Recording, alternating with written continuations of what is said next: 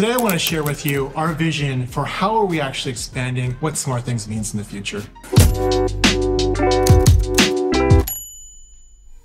We spent the last decade trying to piece together all the different devices in your house and trying to connect them and make them talk fundamentally to each other. We've made several great innovation advancements, such as the Matter standard with other third parties, and our own internal collaborations to make our TVs talk to our appliances and our appliances talk to our phones, and vice versa. Now, where we're headed in the future is that connectivity is just the base layer of where we want to be. Connectivity lets you turn things on and off, send messages between things, but it doesn't start to provide that ease of use and comfort that we all want to have in our homes. And so now we're really excited. We're moving from this era of the smart things and IoT era into the era of AI living.